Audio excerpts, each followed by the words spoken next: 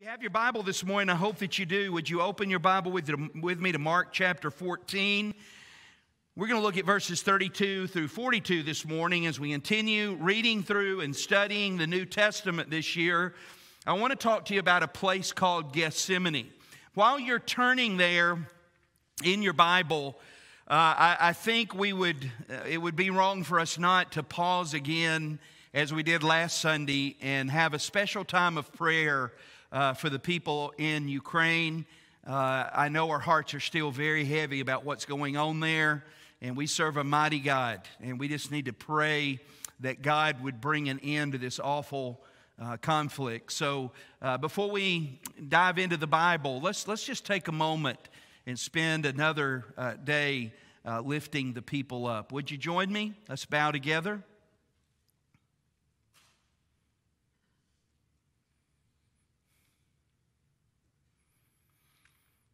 Our Heavenly Father, we come before you again this week and we continue to pray with our hearts for the people of the Ukraine.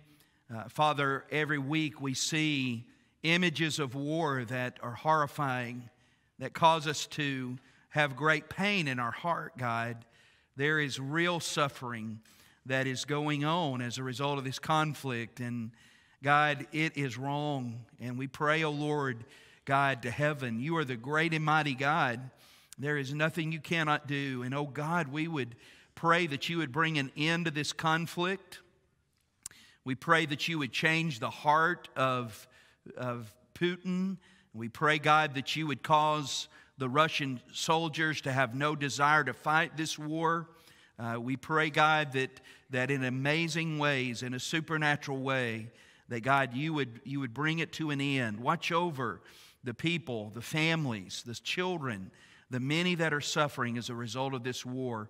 For those that are fleeing and, and, fam- and being taken in by other countries, we pray they'll get care and love. We pray, Father, for those that are injured, that they'll get treatment. And we pray, Father, for all the leaders of the world, God, for our president, for all the other leaders that are making uh, decisions in the midst of this conflict, that you give them wisdom and understanding. We pray for the churches that are there in the Ukraine, the pastors, the missionaries. May they be able to use this awful thing to bring people to Christ, to minister and show the love of Jesus. May the gospel continue to spread and grow. We pray these things in Jesus' name. Everybody said, Amen. Amen. Well, if you have your Bible there to Mark 14, verse 32 through 42, I want to talk to you about a place called Gethsemane. I think that uh, we all have Gethsemane moments in our life. Have you ever had a time in your life when you were praying about doing the will of God, that you, you knew something or you felt like something was the will of God, but, but you knew it was not going to be easy?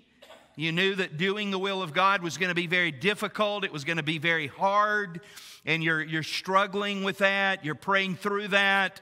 God, do you want me to do this? But, but you're in your, maybe in your heart, you're thinking, I don't want to do this. maybe in your mind, you're, you're, you're, you're battling with God and saying, God, this is, this is not what I, I desire to do. Well, I, I believe that in every believer, we do have Gethsemane moments. A Gethsemane moment are, are those times where we're, we're going to pray and seek God. And, and here's the deal we're going to make a decision either to submit to God or to go our own way. We're either going to surrender to God and go toward God's will, or we're going to choose not to. We're going to choose to go our own way. Well, our Lord Jesus Christ is a great example to follow after three years of public ministry, he is about to face the hardest thing that any human being has ever faced in the history of the world. He was about to go to Jerusalem to die on a cross for me and you. He was going to suffer, take nails into his hands and feet, be spit upon, be mocked, be rejected. But even more than that, a sinless man who had never sinned on that cross was going to take on the sins of the whole world. All of our sins and all the sins of the world were going to be placed upon him on that cross. And he knew that it was God's will for him to go to the cross. But who would ever want to go through what he went through? And so it was in the Garden of Gethsemane, a beautiful garden that is there just outside the gates of Jerusalem on the Mount of Olives. It was in that beautiful garden of, of these ancient olive trees. Do you know the Garden of Gethsemane today? They say that some of the olive trees in that garden date back to almost the time of Christ. Those trees are almost 2,000 years old, and they still bear olives today. And it was in that beautiful garden at the Mount of Olives where Jesus often went. He, he, was, he loved the Mount of Olives. He, he went there to pray, he went there for times of silence and solitude. And it was in that garden that he went to pray. And I think he had the most intense battle with Satan that he ever had. I know he, he battled with Satan at the beginning of his ministry when he went to the mountain of temptation, but I believe it was in the Garden of Gethsemane that he had his greatest conflict with Satan. He knew the Father's will would not be easy. And he literally prayed that this cup would pass from him. He prayed three times, but he also said, Thy will be done. Thy will be done. And so, the main idea I want to share with you this morning, as we think about Jesus praying in earnest at the Garden of Gethsemane and surrendering completely to the Father's will, the main idea I want to share with you is that God's will is not always easy, but it's always best. God's will is not always easy, it never will be, but it is always best. Would you stand with me to honor the reading of God's word? And follow along with me in your Bible as I read Mark chapter 14, beginning with verse 32.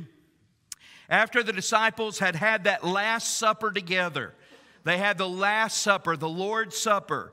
Then they went out and they went to a place called Gethsemane. And he said to his disciples, Sit here while I pray. But he took with him Peter and James and John and began to be greatly distressed and troubled.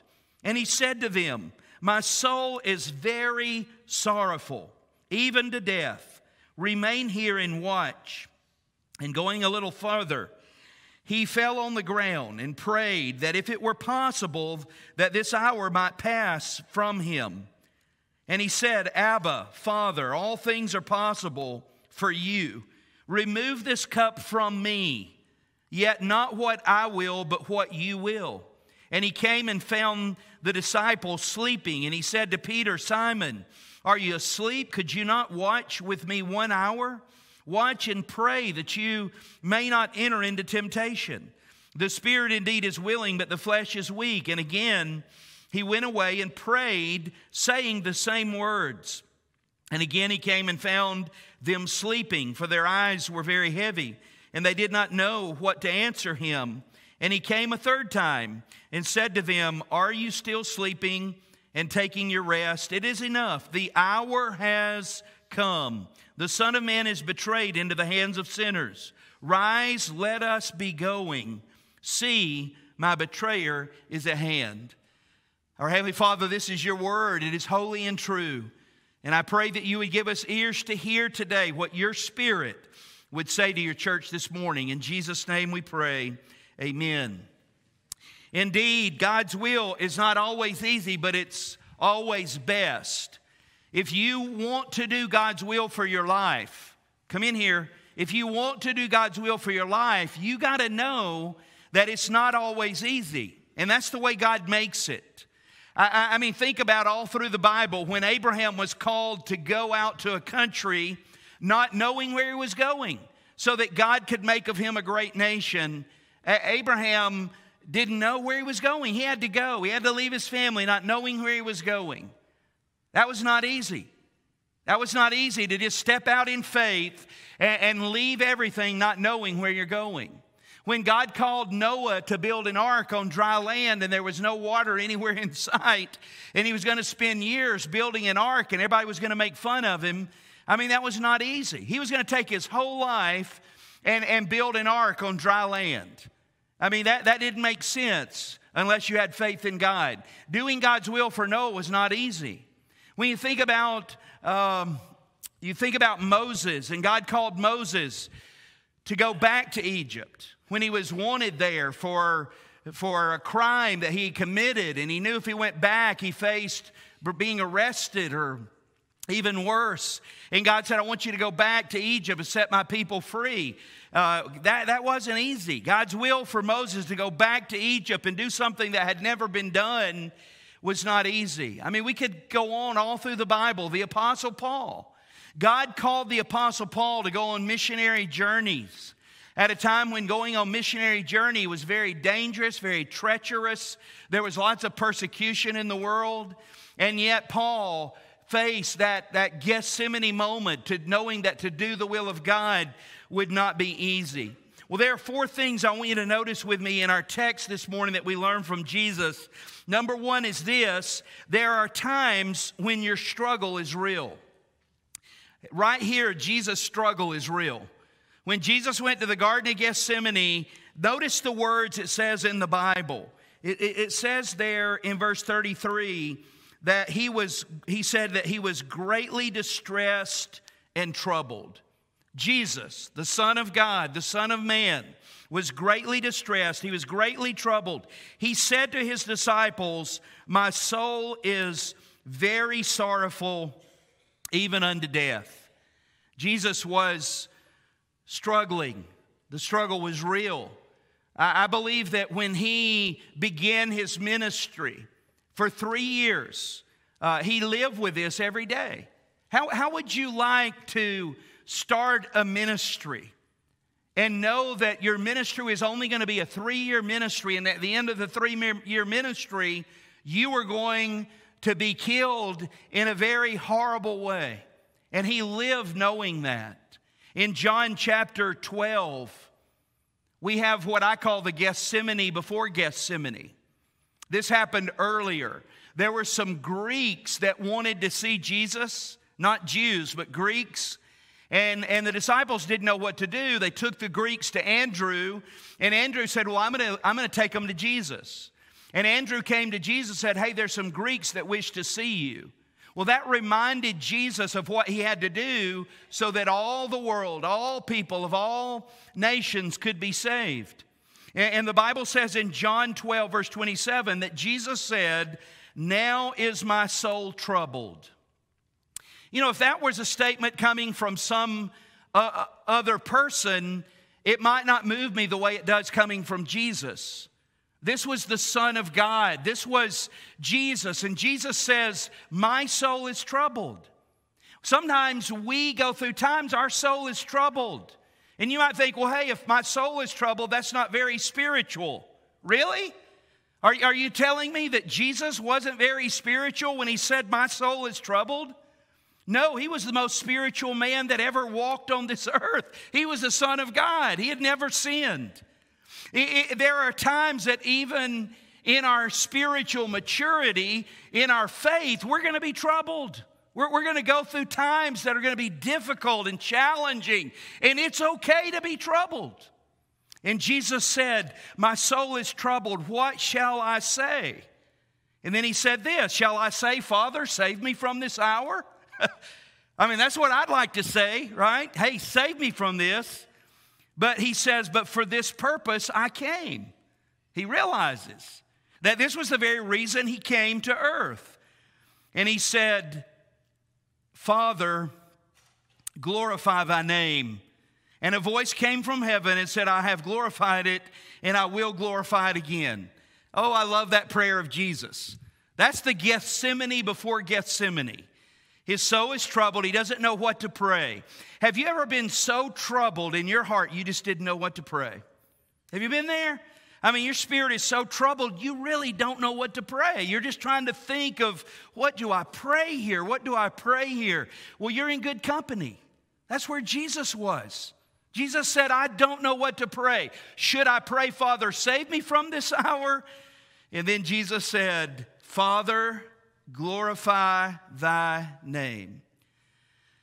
That's a great prayer to pray when you don't know what to pray. When your soul is so troubled, you have no idea what to pray. Let me give you a prayer to pray that will always work. Father, glorify thy name. And the Father answered that prayer, didn't he? He, he was proud. He said, My son, I have glorified it, and I will glorify it again in you. And here again at the Garden of Gethsemane, Jesus is battling the same thing. Luke tells us in Luke 22 44 that he was in such agony that he prayed earnestly, and his sweat became like great drops of blood falling down to the ground. In, the Garden of Gethsemane, Jesus was such agony, he went into a state of, of physical uh, health that doctors call hematidrosis. It's when you are under such stress that the capillaries uh, of your, your body begin to bust open and, and the blood mixes with your sweat and you begin to literally sweat drops of blood. And such a thing could, would be very exhausting, would wear you out, could even bring you into a point of shock. And that's what Jesus experienced even before he went to the cross. Why was Jesus in such agony? Was he afraid of the nails? Was he afraid of the crown of thorns? Was he afraid of the beating of the Roman soldier? Well, I'm sure as a man, as a human being, he did not look forward to those things. But I think the thing that was most troubling for him was not the physical suffering. It was the reality that, the, that something he had never experienced, he was about to experience. A man who had never sinned was about to experience everyone's sin, including mine and including yours. The Bible says in 2 Corinthians 5:21 that for our sake he God made him Jesus to be sin who knew no sin so that in him in Jesus we might become the righteousness of God in him who knew no sin, Jesus. He became sin. He took our sin so that our sins could be taken away and we could become the righteous of God in Him. It was at that moment on the cross when Jesus said, My God, my God, why hast thou forsaken me? That your sin and my sin and the sins of the world were placed upon Jesus Christ. John MacArthur says in his commentary listen, we cannot comprehend the depth of Jesus' agony because a sinless and holy, as a sinless and holy God incarnate, he was able to perceive the horror of sin in a way that we cannot. He knew the horror of sin in a way that we would never know it. Therefore, even to attempt to understand the suffering of Jesus that night on the Mount of Olives is to tread on holy ground. The mystery is too profound for us to comprehend. And even for angels, we can only stand in awe of the God man. His struggle was real. There'll be times that our struggle is real when it comes to doing the will of God. Notice the second thing there are times when your support is weak. You would think that at times when your struggle is real, that people who love you would come and support you. but so often they don't understand your struggle. They don't understand what you're going through. They, they can't understand it, they can't fathom it. Just like Jesus. I mean, here Jesus is with uh, the disciples and he takes his three closest companions, Peter and James and John, and he said, Come and pray with me. Would you come and watch with me? And, and he, he's really needing them, his best friends, to pray with him. And, and, and, he, and he goes off and he prays and he comes back and he doesn't find them supporting him. He doesn't find them pouring out their hearts for him. What are they doing? They fell asleep. They fell asleep. You say they couldn't comprehend what agony it was like all through the ministry of Jesus. If you go back to Mark chapter 8, in Mark 8, you'll remember reading this. After Peter had given that profession of faith and said, You are the Christ, the Son of the living God, the Bible says in Mark 8 31 that he began to tell them that the Son of Man must suffer many things and be rejected by the elders and the chief priests and the scribes, and he will be killed. And after three days, rise again. And he said this plainly. it says he said this plainly. And Peter took him aside and began to rebuke him. Peter rebukes Jesus. And it says, but turning aside, uh, that Peter took him aside and rebuked him. But turning and seeing that his disciples, he rebuked Peter and said, Get behind me, Satan, for you are not setting your mind on the things of God, but on the things of man. Peter said, No, this is not God's will for you. You're not going to suffer and die. This is not God's will for you. Sometimes when you want to do God's will, when you know what God's will is, those that are the closest to you will tell you, no, that's not God's will for you. They think they're doing it out of love. They think that they're telling you not to go not knowing where you're going. Don't build that boat on dry land. Don't go to Egypt and tell Pharaoh to let all his free laborers go. I mean, none of that makes sense, does it? You're a crazy man to build a boat on dry land. You've lost your mind if you think you can go to Pharaoh without an army and get him to let all of his people go free. You're, you're nuts if you quit your job and go somewhere not knowing where you're going. But the difference was for all of those, that was God's plan. That was God's will. That's what they were, God was calling them to do. And their closest loved ones could never understand it. Their closest loved ones would would have not have understood what they were doing because it made no sense. And there are times that we will be in a situation where doing God's will won't make any sense to anybody but us. And even those around us may discourage us from doing the will of God. Third, there are times when your submission is hard. Jesus prayed three times for the cup to pass. He did. Three times he said, God, if there's any other way, let this cup pass from me. But all three times he said, What? Thy will be done. Thy will be done. That's hard. Reminds me of the Apostle Paul. In 2 Corinthians 12, the Bible says the Apostle Paul had been given a thorn in the flesh. Now, we are not told what that thorn is, but it was painful. Paul said it was painful. He's a godly man, he's a missionary, he's a great man of God. Why would God give him a thorn in the flesh? Paul said it was painful. And you know what Paul did? I think he followed the example of Jesus. he prayed three times, just like Jesus. And he prayed, Father, remove this thorn. It hurts, it's painful. I don't understand. Father, remove this thorn. It's okay to ask. There's nothing wrong with asking for God to remove a cup or remove a thorn. Jesus did it, Paul did it. They're a great example. Sometimes God may say, Yes, I will. I'm going to remove that thorn. But that's not what God told the Apostle Paul. In, Acts 12, 2 Corinthians 12, verse 8 and 9, Paul said, Three times I pleaded with the Lord about this, that it should leave me. But God said to me, My grace is sufficient for you. My power is made perfect in your weakness. And Paul said, Therefore, I will boast all the more gladly in my weakness, so that the power of Christ may rest on me. He submitted to the thorn. He said, If your power is going to be in me as a result of that thorn, then I, I submit your, to your will, God. You see, there's action submission and there's attitude submission. When Jesus submitted to go to the cross, that was an action. When Paul submitted to, I'm going to wear this thorn, I mean, he didn't have any action there because there was nothing he could do about it, but he changed his attitude.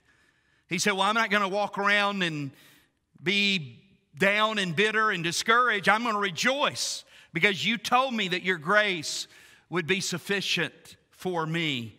Sometimes submission is hard to the will of God. But last, there are times when your surrender is everything. There are times when your surrender is everything. I, I love it here. If we look at the last uh, two verses, it said in verse 41, he came back and they were sleeping again. And he said, he said, It is enough. The hour has come. The Son of Man is betrayed into the hands of sinners. Let us, let us rise and be going. He surrendered, didn't he? He said, The hour has come. There's going to be a time when you are struggling with the will of God. You are. And you're either going to surrender or you're going to go your way. And, and listen to me now, there's going to be a time when the hour has come, when a decision has got to be made. You can't keep putting it off. Because if you, if you keep putting it off, the time is going to come and go. It's not like that there's this unending period of time for you to make a decision. There's a point where you've got to make a decision, and if you don't make a decision, you've made your decision. Jesus knew the hour had come and, and, he submitted to the Father's will. He, he said, Let us go. He was ready to go and do what God had called him to do, to die on the cross for me and you. There are times when God's will is not easy, but it's always best. That wasn't easy. But if it were not for what he did, we would not be able to go to heaven. We would not be able to be saved. The Bible says in Hebrews chapter 9, verse 22, I am the way, the truth, and the, or, or without the shedding of blood, there is no forgiveness of sin. Without the shedding of blood, without the shedding of whose blood? Jesus. Had Jesus not surrendered to the will of God, there would be no salvation. There would be no way that we could go to heaven. Jesus said in John 14, 6, I'm the way, the truth, and the life. No one comes to the Father except through me. I'm the way. In, in Acts 14, 12, there is salvation and no one else, Peter said. For there is no other name given among men by which we must be saved. Sometimes doing the will of God is hard, but it's always best. What if Abraham had not left in faith, not knowing where he was going? There would have been no Jewish nation that gave, gave, to give us a Messiah. What if Noah had not built the ark? then we wouldn't be here today, would we? Everyone would have been killed in the flood.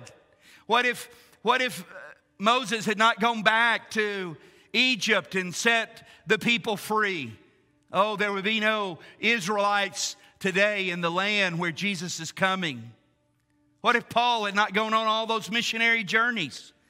In spite of the peril, in spite of the pain, we probably wouldn't be here today. What if Jesus had chosen not to go to the cross?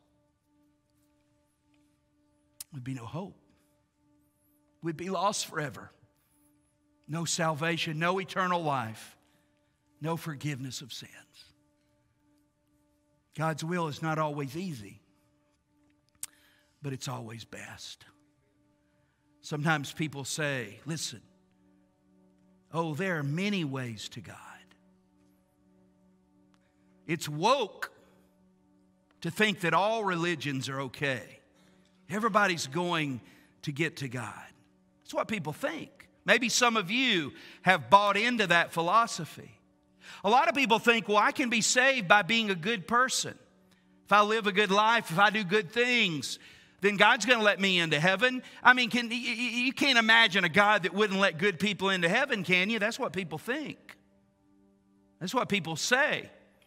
Maybe you've bought into that. You think if I live a good life, I'm going to go to heaven. I don't have to go to church, I don't have to get baptized.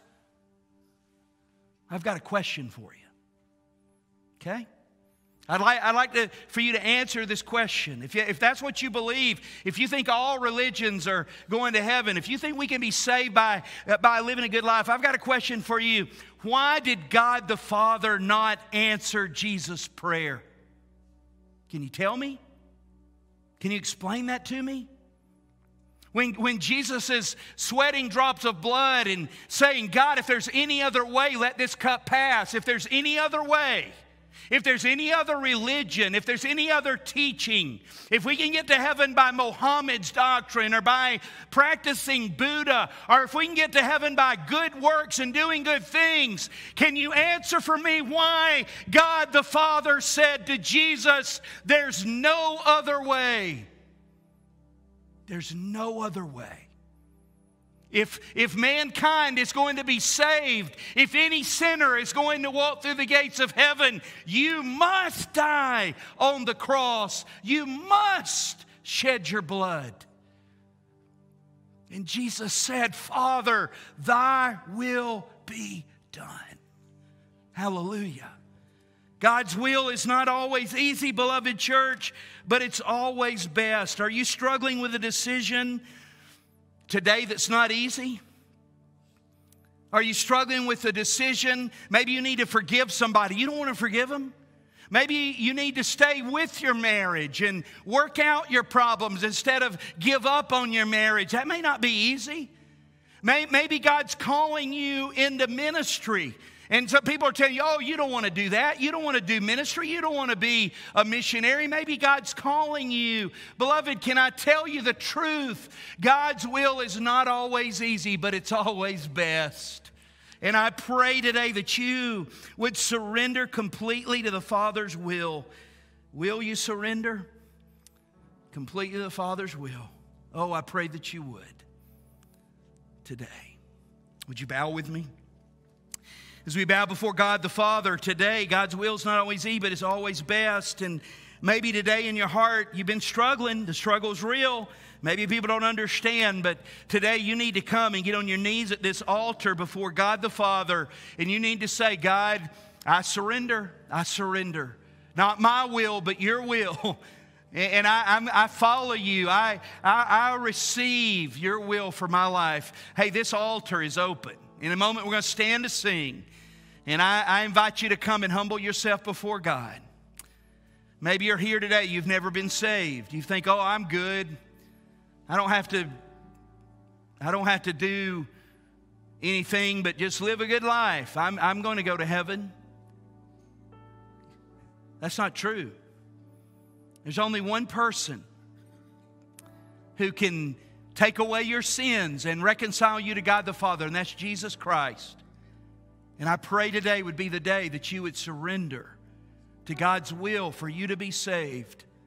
If that's, if that's what you want to do today, would you pray this with me right now? Dear Jesus, I need you. I realize in my heart I can't be saved without you. There's no other way, there's no other plan.